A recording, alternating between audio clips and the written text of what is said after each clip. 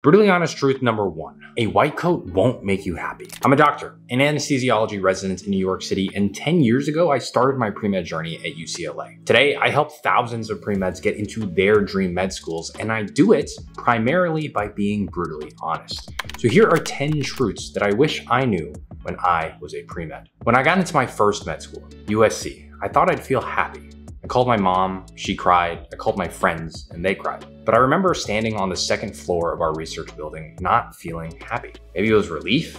Maybe I felt numb. In fact, the cognitive dissonance, the difference between how other people were treating me and how I felt inside, was so troubling, I started seeing a therapist for it. And look, today I love my job and I'm so grateful that I get to help people every day. But I share this story so that you know that there isn't really a finish line. There's nothing that you cross and suddenly everything's over, the champagne pours and the balloon pops. So if you are chasing doctor dreams, make sure that they're yours and make sure to not forget to ask what you want along the way. Really honest truth number two, effort doesn't count, but results do. Pre-meds bust their butts to try and get into med school, but all that effort isn't going to get you where you want if you're digging in the wrong direction. For example, AdComs don't care if you put 2,000 hours at a hospital desk doing nothing. They're more impressed by the kid who spent 200 hours connecting hundreds of Vietnamese immigrants to primary care. Impact is the bottom line. And don't forget that effort precedes impact, but you need effort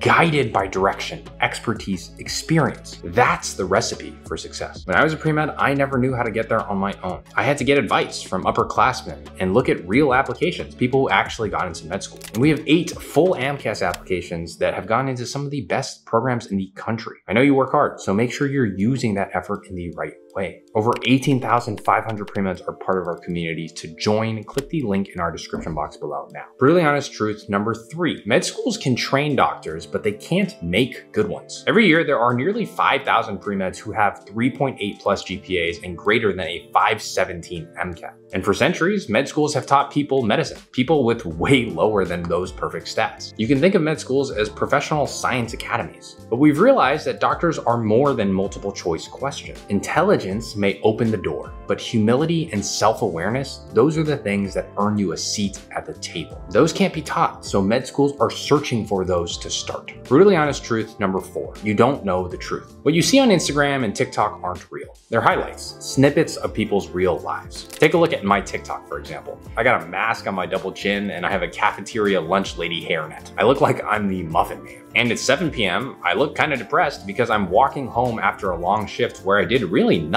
I still gotta eat, I still gotta shower, and I still gotta study for the patients for the next day. That's what real life looks like. I'm not dressed to the tens, saving patients by day and doing Nobel Prize research by night. I promise you, the truth is way uglier and way closer to your real life than you think. And how would you know that if you hadn't gone through it yourself? I certainly didn't. Experience makes this difficult pre-med journey much easier. And if you're applying to medical school in the coming year or two, you want that experience on your side so you don't make the wrong decisions. Our pre-med Catalyst students have a 100% acceptance rate if they submit their applications on time. That's more than double the national average. And our results are only because we work so closely with our students. In fact, we can only take on four students per month before we're full for the cycle. If you'd be interested in getting into some of the strongest programs in the country, click the application cycle advising link down below now to book a free strategy call before we're full. Really honest truth number five burning out is not a badge of honor. I've burnt out way too many times in my life, lying horizontal on the couch, looking at the ceiling, just never wanting to do an ounce of work again. But things change, and I find that today I burn out much less often. And when I do, I've learned that it's a sign that I'm not protecting what matters most to me. Burning out tells me I'm spending my time on things I truly don't care about.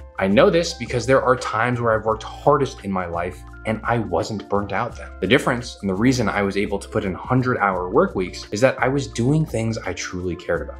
Dan Pink talks about the three factors that make a career satisfying, and those are purpose, autonomy, and mastery if you feel like what you do matters, if you feel like you're getting better at what you do, and if you feel like you have a choice as to what you do, you will not burn out. So remember that when you're doing things you don't want to, there's nothing worse than trading your identity, your soul, for two stupid letters on a medical school degree. Really honest truth number six do awesome things, then talk about it. Med school admissions can get actually really simple if you're world class at something. Remember, AdComs don't read, they scan your application. And at best, they can remember two, maybe three key things. If you have two things that are far above the pack, a lot of medical schools can ignore small weaknesses. Really honest truth number seven, it's all your fault.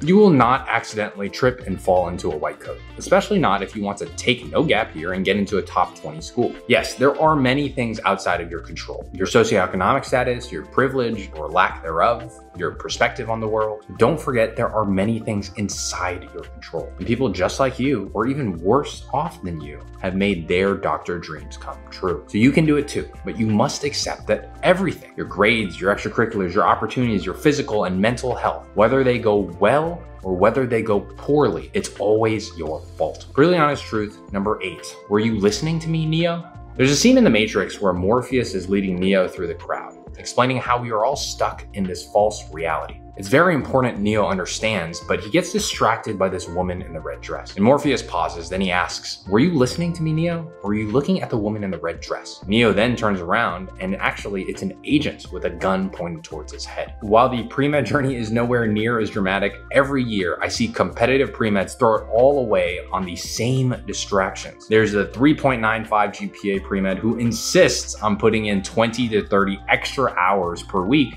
just so they can get to 3.99. All the while, their extracurriculars and letters of recommendations fall by the wayside. There's a pre-med with leadership positions in fantastic clubs that do great work in the community who decides to leave it all behind just so they can found a new club and become the president. Or even better, start a nonprofit, spend six months searching for an executive board, and make a website. That's the wrong move. It's a distraction. Adcoms want depth and impact sustained over long periods of time. They don't care if your GPA is 3.99 instead of 3.92, and they don't care if you have the fancy president title or co-founder of a nonprofit, especially if it did nothing. Distractions feel safe because they're exciting, they're new, they're sexy. But in reality, that's just a woman in the red dress. Brutally honest truth number nine.